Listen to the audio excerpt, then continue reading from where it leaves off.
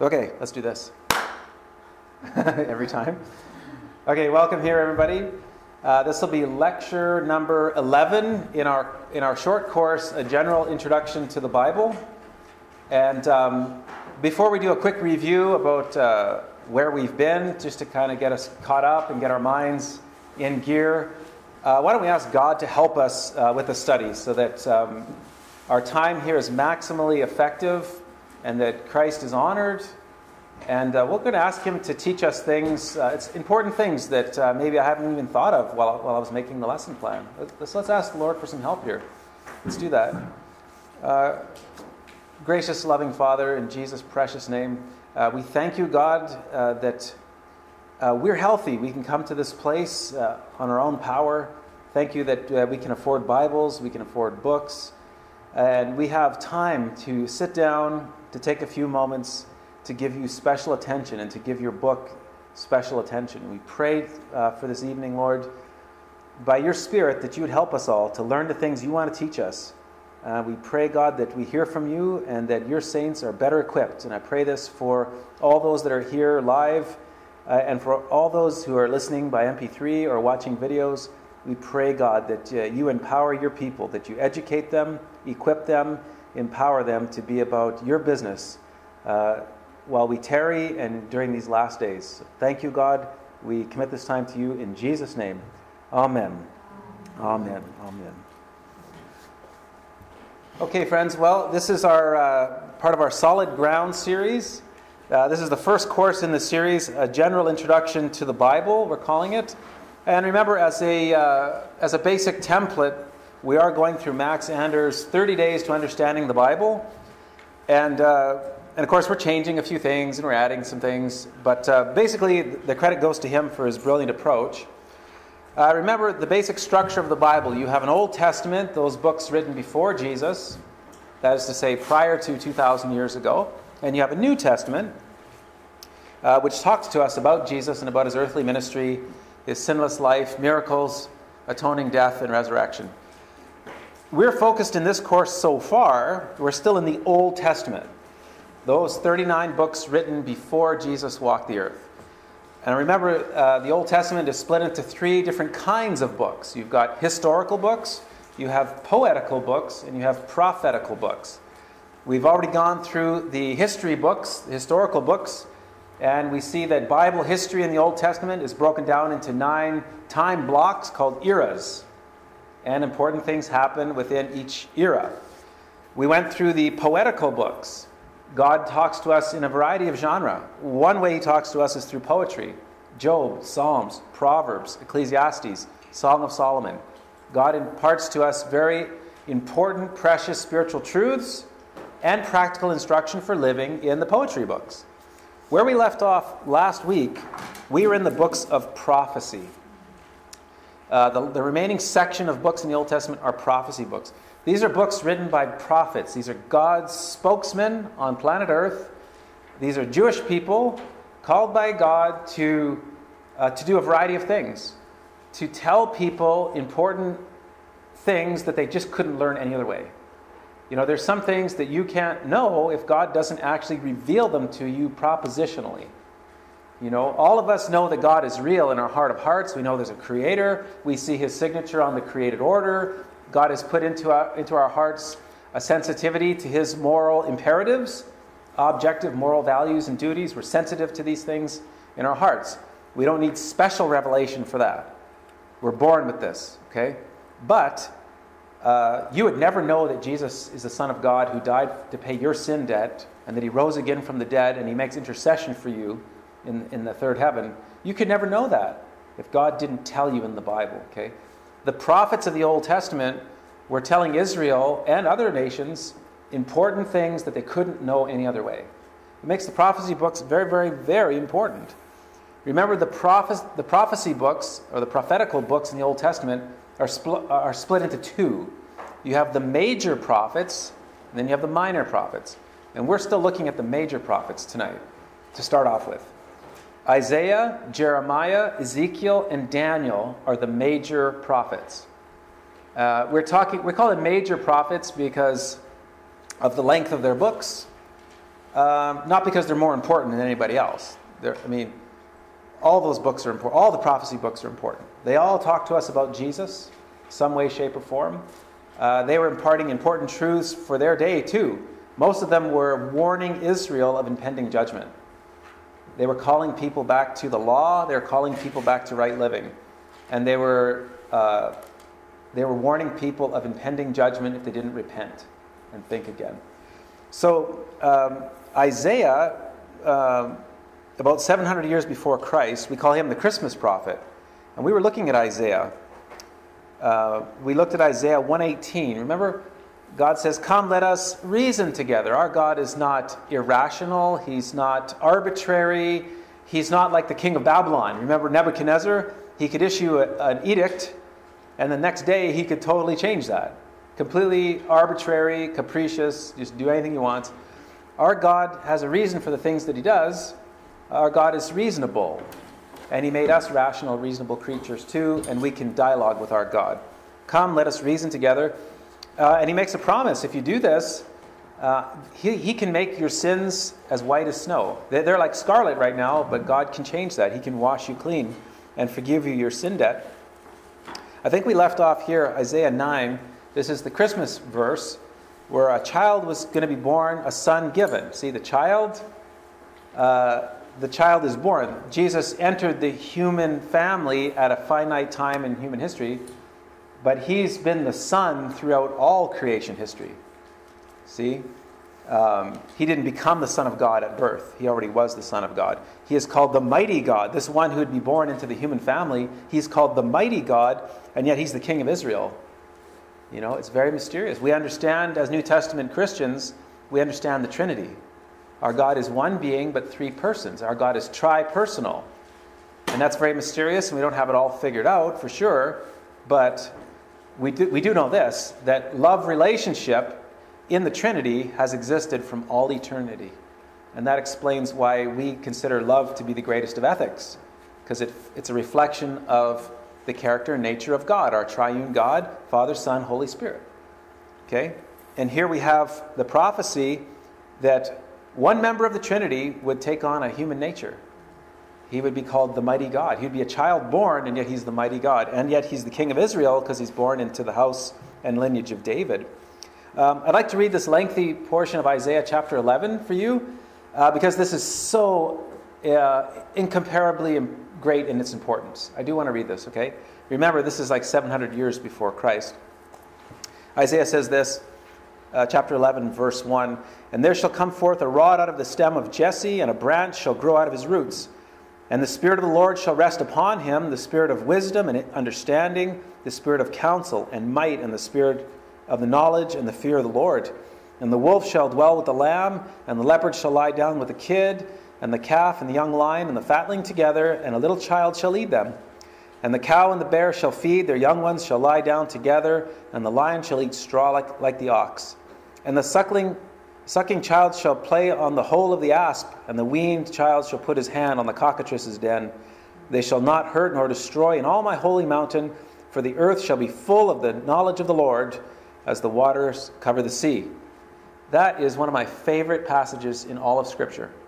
Uh, we have a guarantee from God here that one day the King of Israel will sit and preside over the whole planet. There'll be a beautiful restoration to a very good created order.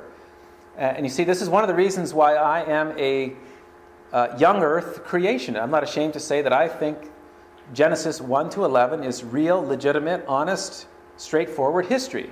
God created the world in six days, real days, no evolution, no death before sin. Uh, and you see, you need to look at it like that, otherwise, all these promises of restoration don't make any sense. When God made the world, it was very good, there was no death man sinned and brought death into the world, uh, and animals started to kill each other, and there was bloodshed, and things were dying. But Genesis chapter 1 is so utterly clear about this.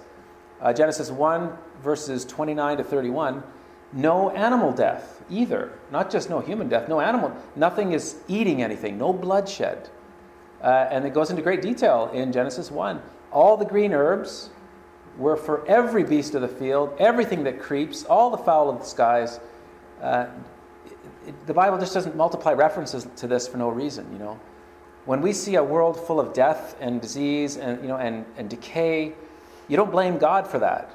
The, the Bible is making sure that you understand that humankind sinned and brought these horrible things into the world. But the promise here is that there's going to be a wonderful restoration when Jesus returns. He is the, the one that comes from the house and lineage of, of Jesse, of David, son of Jesse. Jesus sits on the throne of his father David. He reigns and rules over a restored created order. And here you see dangerous animals the viper, the cockatrice, the asp, uh, lions. They behave like peaceful vegetarians. Little children can play with them. And that's not science fiction. That is going to happen. You know, by the time this lecture is done in 20 minutes, you're 20 minutes closer to a restored created order. Can you imagine? Praise the Lord. Who wants to say praise the Lord, right? I mean, yeah. I like this uh, in verse 9 They shall not hurt nor destroy in all my holy mountain. No more war. No more hurting each other. We watch the news, you can't, even, you can't even figure out this planet. You, you talk to people who come from war torn countries. I did last week. Hey, what, what's everyone fighting about over there? Well, it's very complicated. Right? Well, short answer who knows? It's incredible, you know? No more of that nonsense. The, and it says, uh, the earth shall be full of the knowledge of the Lord as waters cover the sea. You want to know something? There's not one square inch of sea bottom that isn't covered by water. And the whole world will know the Lord. And I can't wait. And we'll have, all of us will have something in common. In fact, the most important thing in common. We'll all worship the same God together. That's the future. That's the future. Well, uh, if we're still with Isaiah here, Isaiah chapters 24 to 27, just for your notes. Uh, this is sometimes called the little apocalypse.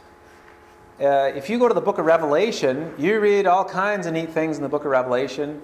The book of Revelation is focused mainly on things that are future to our own day. End times, we call that eschatology, study of the last things. The book of Revelation is very difficult if you don't have Daniel mastered. We'll talk about Daniel yet tonight. If you master Daniel, the book of Revelation is going to help, help you a lot. All of a sudden, it makes sense. But if you go now to the book of Isaiah, chapters 24 to 27, you'll notice uh, some grand parallels there in those chapters between what Isaiah prophesies and what John prophesies in the book of Revelation. And I'm, we won't go into any detail tonight on that. That's just for your notes. The little apocalypse. Now, ahead in the book of Isaiah, chapter 53, is perhaps uh, the clearest and most spectacular prophecy in the Old Testament uh, that refers us to Jesus, to his atoning work on the cross. And uh, we're not going to read the entire chapter, but I have just a couple verses here, verses 5 and 6 of Isaiah 53. Uh, I mean, if you're a Christian, you, you just see New Testament truth all over this, don't you? Look what Isaiah said.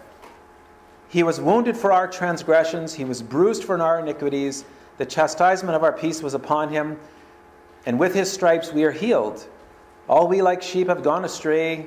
We have turned everyone to his own way, and the Lord hath laid on him the iniquity of us all. And if you, I mean, you just need to read, read the entire chapter 53, actually begin in 52, because it's just one big long thought there, right? Goes right through the chapter break. You see Jesus there. You've got to see him. Uh, and in fact, I have, I have a friend in Washington. Uh, he was uh, speaking to um, a Jewish fellow. I think it was a rabbi. And uh, he, he read this. And the guy said, I don't want to hear all that. I don't want to hear any of this New Testament theology stuff. And he said, This is from the Old. This is, don't you believe the prophet Isaiah? You see? Uh, he himself was raised a Catholic. And uh, nominal, I mean, he, didn't, he wasn't really a Christian, he's a nominal Catholic. But he remembers reading Isaiah 53 or hearing it read, and he really thought it was so obvious to him that it was talking about Jesus. He wasn't even a Christian.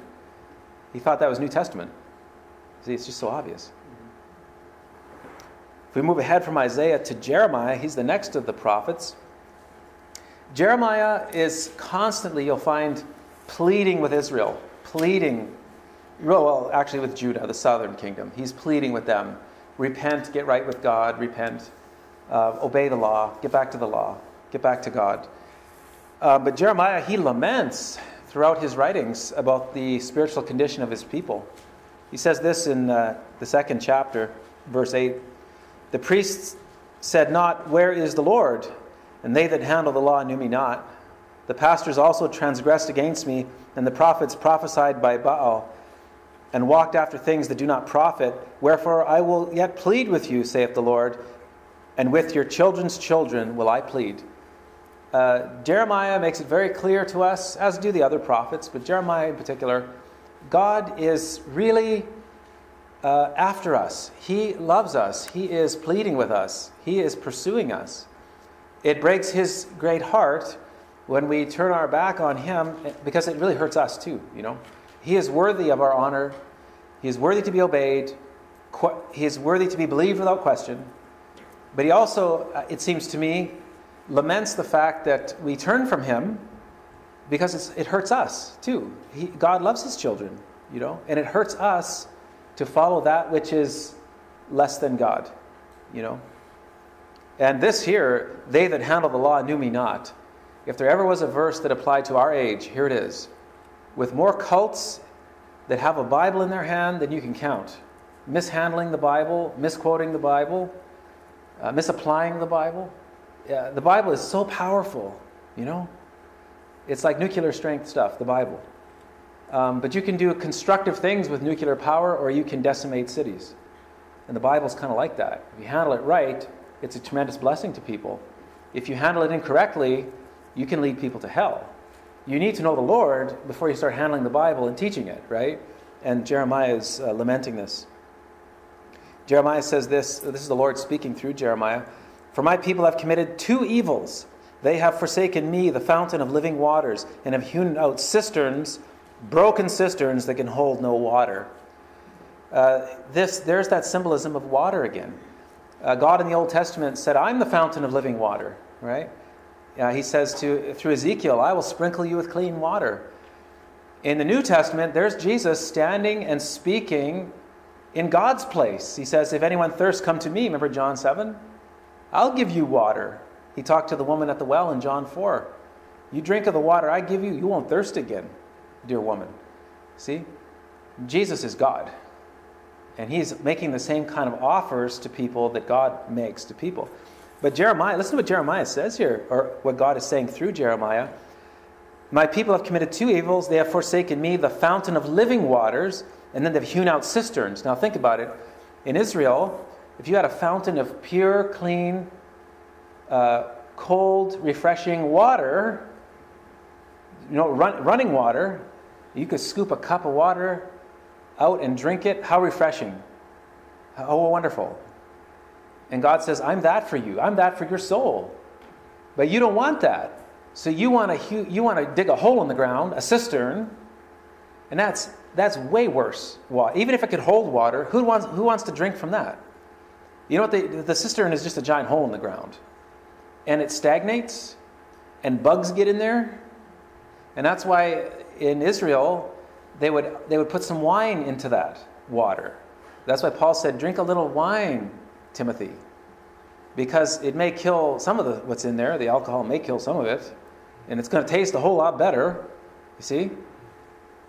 And they, they used to put screens on, the, on these cisterns to try to filter out the big bugs, but there's always bugs in there. So God says, Look at you. I'm giving you clean, fresh, cold, refreshing water, running water, living water, and you want to dig a hole in the ground and drink that. But it's worse than that. They've got broken cisterns that can't even hold water. You reject God for this hole in the ground that can do nothing for you. There's nothing in there for you. Right? Now you understand this is all applied spiritually, right? You see that. What I mean, what's wrong with these people? It's insanity, isn't it? And that's the age that we live in, actually. So just to punctuate that, yeah.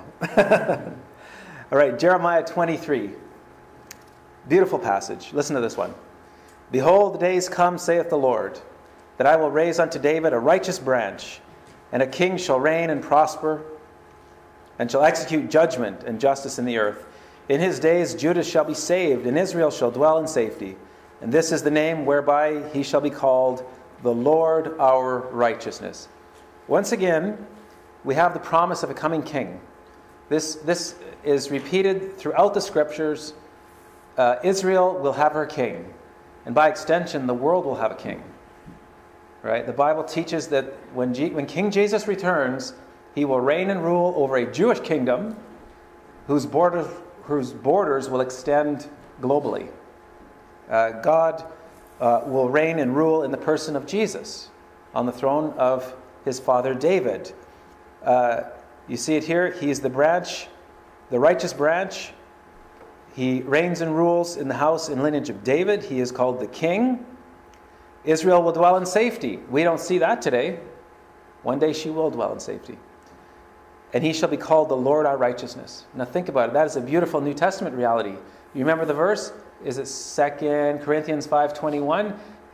He made him who knew no sin to be sin for us, that we might be made the righteousness of God in him. See the exchange? Marcus and I were talking about this just recently. How you have a sin debt and I do too. Or I did. But Jesus came and he died to pay your sin debt. So think about it like this. Here's a good way to think of it. You had a cup, and the cup was full of God's wrath because of what we've done to offend him in our sin. That cup was full. When Jesus came and he took the punishment we deserve, it's like he drank that cup all the way down, and he presents you with an empty cup. And you say, Thank you, God, for this empty cup. I've never been so happy for an empty cup. But then he turns around and he says, I'll do one better. Not only do I will I not force you to drink the cup of wrath, but I'll fill that cup with my righteousness. I'll impute my righteousness to your account. So it's not just a it's not just that you're forgiven, it's that you are granted the righteousness of Christ in him. That's awesome. And these are precious New Testament truths uh, that sort of poke their heads up all the way through the Old Testament, too, right here in Jeremiah as well. Well, before that wonderful and awesome day when the Lord reigns and rules on planet Earth, the Bible predicts in both Testaments, in very strong language, there will be a coming time of great darkness on planet Earth. And of course, you understand that the, darkest, the darkness is deepest just before the dawn. This world will be as dark as, as it's ever been, darker than the days of Noah, just before the Lord Jesus breaks in upon the created order to throw the squatters off his planet and to reign and rule and to shepherd the nations with a rod of iron. Okay? But here's a little uh, prediction here Jeremiah 30 about that great and terrible time just before the Lord returns. Jeremiah 30, verses 7 to 9. Alas, for that day is great, so that none is, none is like it. It is even the time of Jacob's trouble. But he shall be saved out of it. For it shall come to pass in that day, saith the Lord of hosts, that I will break his yoke from off thy neck, and will burst thy bonds and strangers shall no more serve themselves of him, but they shall serve the Lord their God and David their king, whom I will raise up unto them. That's just one passage among many that tell us that there will be a time of unparalleled darkness and distress for national ethnic Israel and anyone who wants to identify with her and her Messiah. It will be horrible, absolutely horrible. The book of Revelation goes into tremendous detail on this. You'll lose your head in the last days if you name the name of Christ. In fact, it'll be so dark, says Jesus, uh, that if you offer a cup of cold water to somebody who calls himself a disciple of Jesus, uh, you won't lose your reward. You will be, you'll be putting your neck on the line. It'll be that dark. It'll be that, that dark in the world that one simple gesture towards a favor towards God and His people, and you just might lose your life. And God says that I, I honor that. I'll honor that right there. See? And it's kind of it's kind of a truth, isn't it? That when the darkness is really, really deep, even a tiny little flame can throw light very, very far.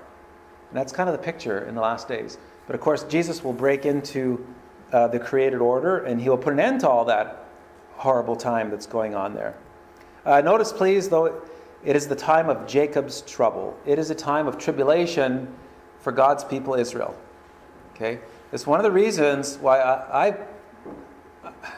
I can't be dogmatic about this, but I, I really come down on the side of a pre tribulation rapture. I really think that we're out of here, raptured off the planet to be with Jesus just prior to the Great Tribulation period. Okay? Now, I could be wrong about that. I could be reading the scriptures incorrectly. Um, but, but I have, I've got some reasons for holding this view. And it's not just because I don't want to pass through that horrible time. I think there are scriptural reasons for that. But that's an intramural debate. That, that's between brothers who see the Bible pretty much the same, right? The timing of the rapture. That, that's a finer detail. Well, listen to this one Jeremiah 31, looking ahead to the new covenant. Behold, the days come, saith the Lord, that I will make a new covenant. See, that covenant at Sinai, that was never to be forever. That was not, for, that was not forever. Uh, Paul tells us in the New Testament what the reasons were for Sinai. And when Jesus came, uh, he put an end to that. Jesus is the end of the law to righteousness to everyone who believes.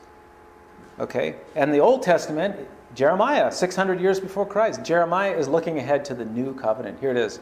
Behold, the days come, saith the Lord, that I will make a new covenant with the house of Israel and with the house of Judah, not according to the covenant that I made with their fathers in the day that I took them by the hand to bring them out of the land of Egypt, which my covenant, which my covenant they break. Although I was a husband to them, saith the Lord, but this shall be the covenant that I will make with the house of Israel after those days, saith the Lord. I will put my law in their inward parts and write it on their hearts, and they shall, and they, I will be their God, and they shall be my people. Is what I'm trying to say. Um, this is the new covenant. This is the covenant that you and I are a part of. Okay, when you become a Christian, you're born again. You ever hear that? Born again. Jesus said, if you're not born again, you won't enter the kingdom of heaven. When you come to Jesus by faith alone and He becomes your personal Lord and Savior, you're born again. You're a new creature spiritually, and all of a sudden, uh, you become spiritually sensitive to His law. Certain forms of entertainment are not entertaining anymore, or shouldn't be. And you, you just get better at being like Jesus. And of course, you never attain to that standard while you walk in this life, in this present order of things.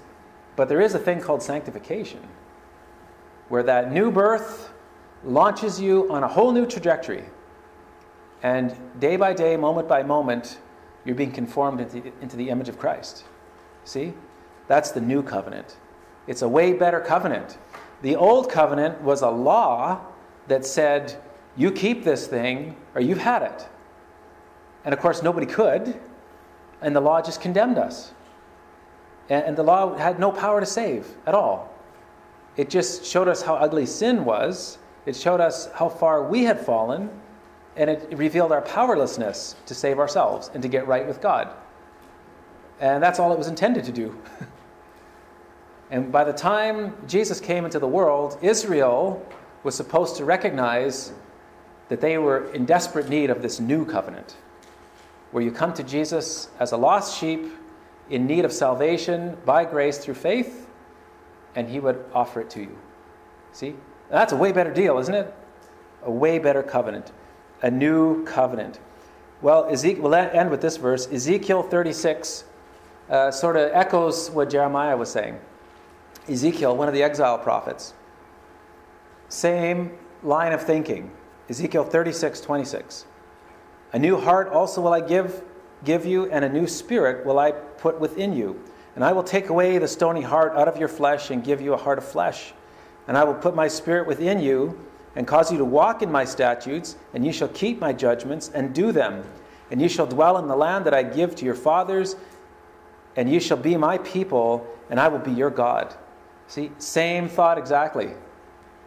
You're looking ahead to the new covenant. The new covenant promises that if you enter this kind of relationship with God, you don't just get forgiven, you get reborn. You get a new identity, a new spiritual nature. And we're waiting. See, the Spirit of God in the New Testament is called the deposit. And God makes that great change in your heart and mine too. And He says, That's the deposit, that's the guarantee that I'm not done with you. Because one day the body is going to get changed too. Same body, brand new characteristics, attributes, nature. It'll be unlike anything you've ever seen. And that spiritual, that new spiritual nature you have, the seal of the Holy Spirit in your life, that's the guarantee. God's not done with you. That's all part of the new covenant that Jeremiah was looking for. See? Little hints all through the Old Testament that there was something new and better coming, infinitely better. And that's the grand theme of the book of Hebrews in the New Testament. The writer of the Hebrews looks back on all this and he says, My Hebrew brothers, isn't Jesus much better? Better than angels, better than Moses, better than the old covenant. It's just better. Infinitely better. See? That's the grand theme of the whole Bible. So, if you can we sum it up like that? The whole Bible is about Jesus Christ. Thank you. No one has any argument with that, right? okay. Well, friends, that's uh, 30 minutes. Why don't we take a break and we'll return with lecture number 12 in our series, okay? Let's do that.